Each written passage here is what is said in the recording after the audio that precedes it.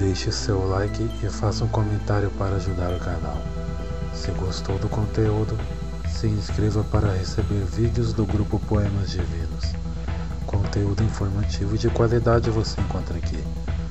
Se possível, faça uma doação para que eu possa comprar equipamentos para melhorar a qualidade dos vídeos do canal.